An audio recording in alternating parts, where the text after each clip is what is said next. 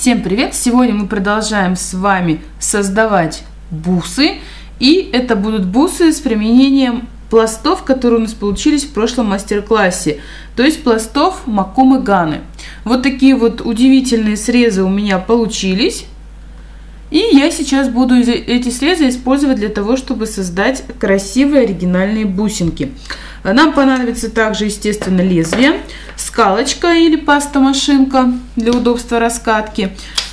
Возможно, понадобятся кусочки бумаги, катеры, я взяла вот такую вот круглую форму и форму вот такой лампочки.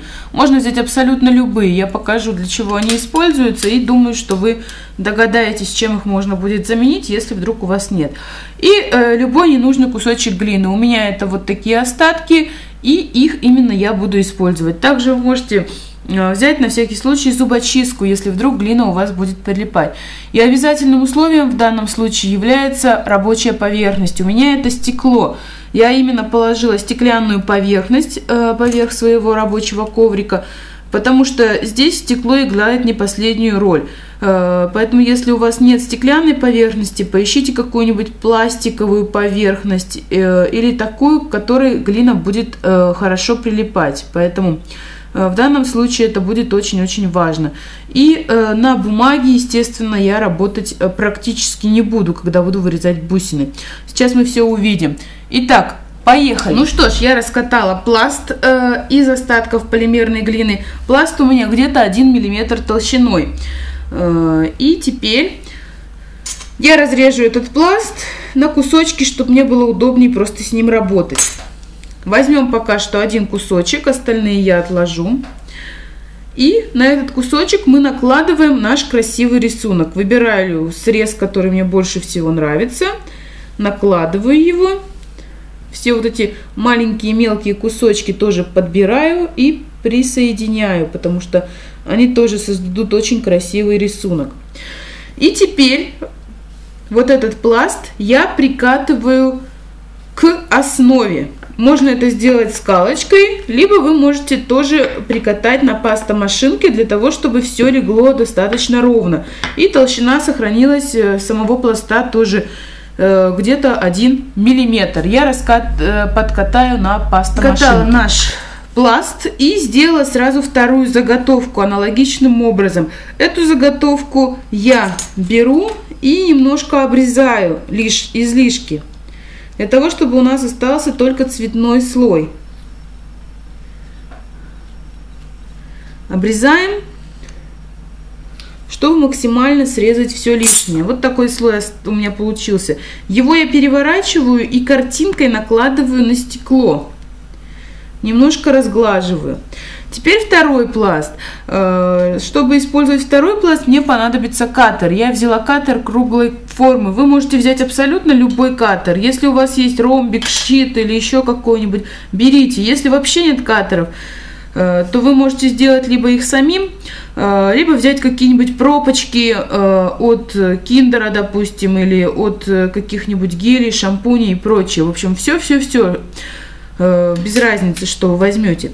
Итак, опять же, наш пласт я немного подрезаю, чтобы вот эти вот некрасивые места, которые без рисунка, у нас ушли. Рисунок максимально оставляю. Вот так вот. И теперь беру нашу формочку, беру наш пласт и то, та сторона, которая острая, которую мы прорезаем, прямо на нее накладываю наш пласт. Вот таким образом. И начинаю его аккуратненько продавливать внутрь. Так делаются полые бусины. В принципе, думаю, что как сделать крупные полые бусины, уроков предостаточно в интернете. И этот способ я буду использовать как раз для создания своих бусин. Но в моем случае это не последний этап. То есть я вот так вот аккуратненько укладываю и осторожно вот так вот прокручиваю, как бы продавливаю внутрь, но не прорезаю. То есть э, по краям у нас прорезов быть не должно. Э, для того, чтобы у нас пласт нижний не выгнулся, нижний слой должен быть не менее 1 мм. То есть потолще даже можете делать для того, чтобы э, у нас нижний слой не прогнулся. Здесь же я как бы вот так вот расширяю аккуратненько. И вот что у меня получается. Такая вот воронка, тарелочка. Теперь я беру полученную вот эту вот форму и прямо не снимая со стекла, вот на этот пласт вот так вот переворачиваю. Вот, приметили, чтобы у нас никаких дырок, зазоров не было по кругу. И теперь продавливаем. Аккуратненько прокручиваем и снимаем. То есть, видите, когда вы делаете на стекле, катер сам, он снимается прекрасно, а сама форма прилипает. Вот таким образом получается полая бусина. По идее, ее в таком виде прямо на стекле лучше всего и выпекать, если вы, допустим, решили сделать крупные полые бусины. Э, я же продолжаю работать над, данным, над данной бусинкой. Я беру катер вот такой вот формы, у меня это лампочка. Вы тоже можете взять либо какую-нибудь такую же форму, либо можно взять просто кружочек меньшей формы. Э, пожалуйста, в общем, все, что у вас есть. Можете взять квадратик, тоже будет интересно, думаю. И теперь этим катером я буду вырезать наши бусинки. То есть это не бусина, это у меня заготовка для бусины. Теперь я беру нашу лампочку и в произвольном порядке я вот так вот вырезаю маленькие бусинки. Продавливаю очень осторожно, чтобы воздух у нас оставался вот в этих бусинах. Вот видите, что у меня получается? Поворачиваем и тоже под каким углом я давлю, без разницы. Пусть они будут разные. В принципе, такая моя задумка, чтобы все эти бусинки в итоге получились немножко разные. Продавливаем до конца и убираем. Продавливаем и убираем. То есть, видите, получается абсолютно разные бусины. И последняя будет у меня вот такая. Так, теперь я аккуратно снимаю их, беру лезвие и снизу подрезаю. Берем бусинку. Давайте для того, чтобы мне вам хорошо все было видно, я возьму белый цвет, белый листочек вернее, и на листочек прямо буду ее укладывать. Вот такая бусина вышла. Если вам что-то не нравится, то вы можете взять катер и где-то ее немножко подровнять, для того, чтобы она была более там пухленькая. Во-первых, вы когда вот так вот делаете, вы выгоняете лишний воздух. Или как-то немножечко сформировать ей, придать другую форму. У вас получается вот такая вот маленькая пухленькая бусинка. Точно так же я сейчас обрабатываю остальные бусины, то есть снимаю с поверхности, вот у меня получилось. И вот здесь мне не нравится, что она немного какая-то приплюснутая, поэтому я беру катер и вот так вот обрезаю. Вот, и она у меня становится такая пухлая. То есть излишки я обрезаю. Получается они где-то небольшие, максимум 2 сантиметра. И все разные. Получаются такие камушки. Они очень будут легкие, эти бусины.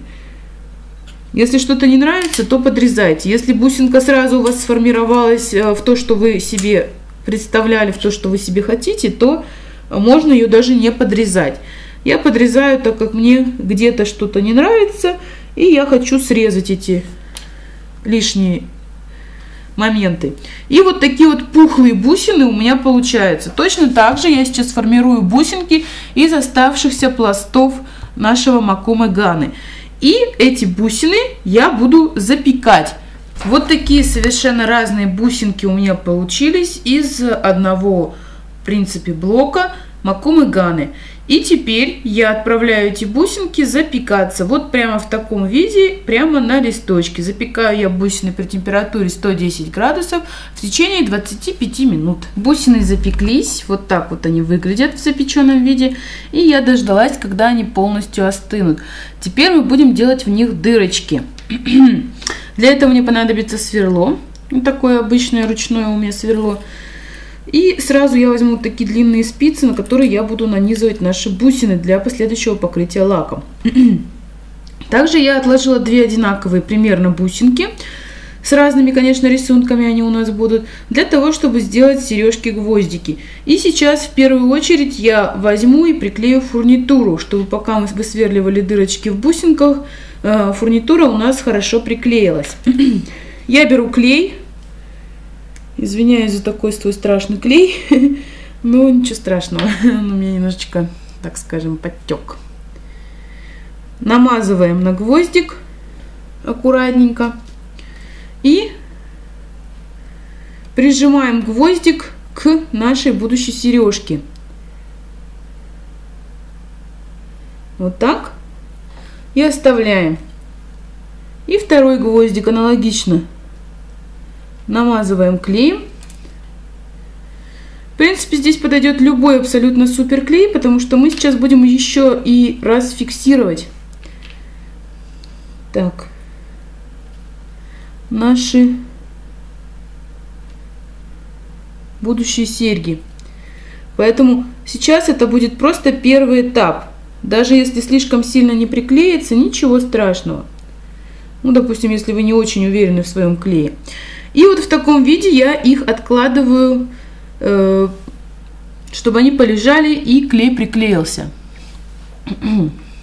так, и займусь теперь бусинами. Когда вы высверливаете бусины, э, не нужно слишком сильно давить, делайте все аккуратно. Я беру бусинку и начинаем сверлить. У меня сверло диаметром где-то около 1 миллиметра, и мы должны сделать сквозное отверстие. Вы можете сделать его вот здесь, можете сделать вот здесь, можете сделать вот так. То есть тут разные варианты. Я хочу сделать вот такое вот отверстие в этой бусине. Поскольку бусины у нас немножко разные, то, соответственно, будут э, они у нас скрепиться тоже не, э, в один, не одинаковыми сторонами, а немножечко, так скажем, интересно сдвигаться. Так, с одной стороны и с другой стороны. Аккуратненько просверливаем.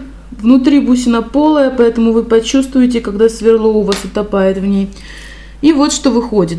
Беру теперь иголочку и аккуратненько протыкаем бусинку насквозь. То есть вот так.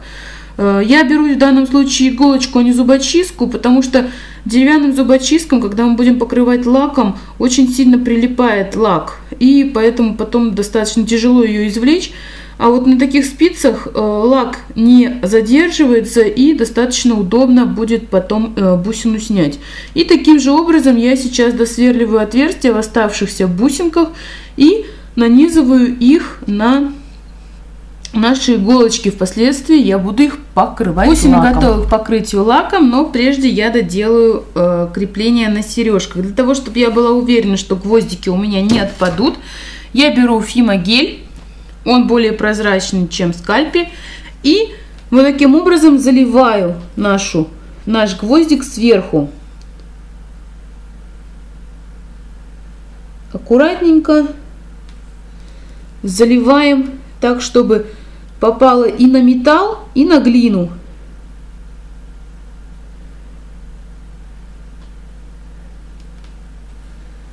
Так. Еще сюда немножечко. В принципе, небольшой достаточно расход, но в таком случае я буду уверена на 100%, что мои гвоздики не отпадут. И в таком состоянии я их сейчас ставлю запекаться. А, период запекания полный, то есть 25 минут при температуре 110 градусов. И уже после этого я и сережки смогу покрыть Покрытие лаком. бусин лака мне понадобится кисточка, естественно, сам глянцевый лак. И вот такой вот блок из пенопласта, в который я обычно втыкаю зубочистки, либо бусины можно втыкать на иголочках. И очень удобно они держатся. Итак, я беру наш один такую шпажку, шашлычок, на котором у нас есть бусины. Открываем лак. Покрыть можно в один слой, можно покрыть в 2-3 слоя. Я покрою в 2 слоя, потому что я хочу, чтобы мои бусины были с таким эффектом, прямо мокрым-мокрым эффектом. Поэтому я покрою в 2 слоя. Если вы хотите только чуть-чуть глянца, то можно покрыть в один слой и думаю, что будет достаточно. Бусинку покрываем со всех сторон. Слишком много лака тоже не лейте, чтобы никак, некрасивых подтеков на бусин не оставалось. Лучше покрыть несколькими слоями тонкими, чем сразу залить всю бусину и, естественно, ничего не получить. Так. И вот такие уже глянцевые бусины у нас встают с интересными необычными рисунками. Вот так вот я вставляю в пенопластину. Упс. летает. Ничего страшного. Вот так вот вставляется в пенопластину, и она уже надежно закреплена и никуда не выпадет. Точно таким же образом я сейчас покрываю все мои бусинки. Аккуратно. Каждая бусина получается уникально и по форме, и по расцветке, и по расположению в них даже отверстий. Так что все-все-все до единой бусинки здесь будут получаться просто невероятными в том плане, что они все абсолютно разные. Каждая имеет свой уникальный, необычный, красивый такой рисуночек, благодаря технике Макумы Ганы. И я продолжаю покрывать бусинки. У меня подсохли, и я их аккуратно снимаю э, с иголок. Вот таким образом они у нас аккуратненько снимаются. Лицевую сторону я покрыла дважды лаком. И вот у меня получились еще сережки. Я их тоже покрыла лаком. Вот такие маленькие миленькие сережки с разными узорами у меня вышли. На сережки я сразу надеваю заглушки. Я предпочитаю силиконовые, не металлические. По мне так они намного надежнее держатся. И вот такие вот серьги-гвоздики у меня получились. Очень похожие на такие интересные камушки. Из бусин же мы сейчас будем делать с вами, естественно, бусы. Итак, для того, чтобы собирать, мне понадобится ювелирный тросик. Если у вас нет тросика, вы можете использовать обычную леску. И мне понадобятся вот такие маленькие бусинки. Вообще это кримпы. Можно взять обычный бисер любого цвета, какого вы хотите. У меня это кримпы, которые похожи на такие металлические шарики. И я начинаю собирать мои бусы. Беру нашу, э, наш ювелирный тросик, он у меня не очень толстый. Сейчас посмотрю, 50 метров. 0,3 миллиметра. 0,3 от миллиметра это его толщина. И теперь я аккуратненько надеваю на наш тросик две бусинки.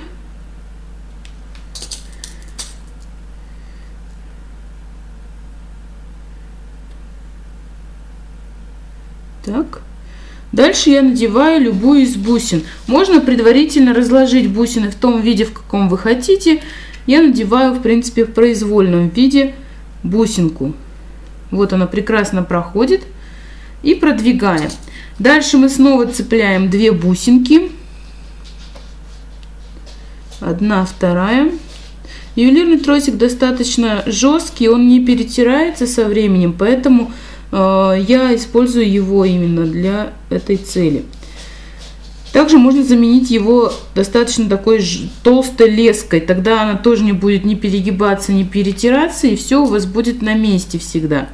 И вот таким вот несложным совершенно образом я собираю пока что полностью все мои бусинки. То есть чередую две металлические бусинки и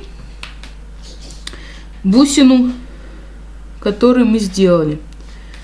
У меня получается вот что. То есть вот таким вот образом собирается две бусинки, большая бусина из макуме. Главное не переверните, чтобы они все у вас лежали лицевой стороной к вам. И точно так же я продеваю все оставшиеся бусины. Я нанизала все бусинки. Вот, такое, вот такие бусы у меня получаются. И теперь осталось только закрепить концы. И я закрепляю их следующим образом. Я беру вот такую штучку, которая называется кримп. Надеваю ее. Затем беру одну из бусинок.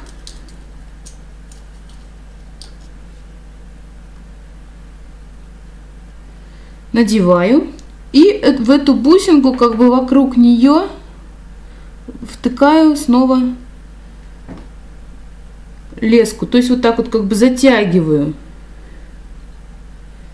Затягиваем бусинку хорошенько. И кончик лески обратно просовываю в кримп. Так. И подтягиваю так, чтобы бусинка оказалась внутри этого кримпа. Вот таким образом.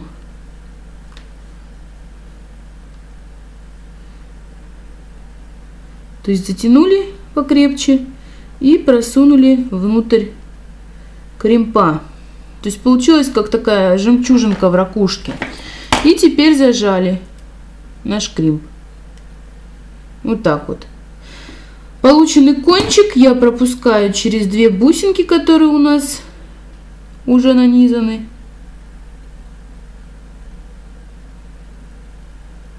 Так. Подрезаю кончик. И оставшийся кончик прячу в бусинку. Вот таким образом.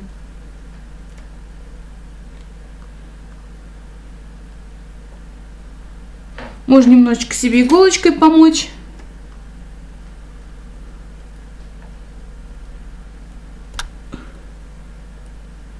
Так, и продеваем.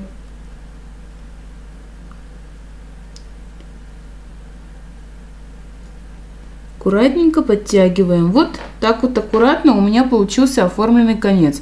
Теперь все бусинки пододвигаем и аналогичным образом закрепляем второй конец наших бус. Второй кончик я аналогично обработала. И теперь осталось только подвесить удлинительную цепочку и колечки. Я беру колечко, разгибаю его, просовываю.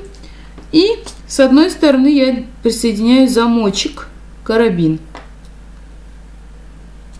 С обратной стороны я беру колечко, разгибаю, просовываю в петельки, подцепляю кусочек цепочки удлинительной, хорошенько колечко закрепляю.